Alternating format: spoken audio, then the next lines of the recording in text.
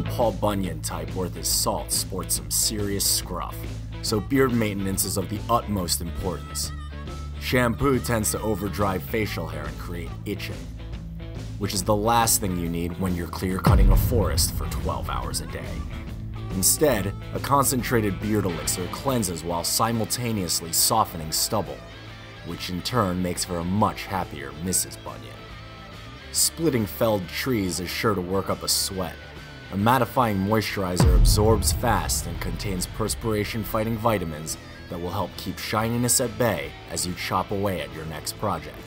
Proper axe wielding takes a toll on the hands, so don't be shy of applying restorative hand cream every night once you've returned to your log cabin. Even lumberjacks enjoy a nice night out. But one thing is certain, they don't want to do away with their forest fresh essence in the process. When the natural aroma of the woods is miles away, a great substitute is this masculine scent from the legendary Victorinox Swiss Army. Spray it sparingly on your pulse points, then bask in the refreshing blend of cedar, cypress, and a host of other evergreens. After a long day of chopping down trees, you're ready for that date with Mrs. Bunyan.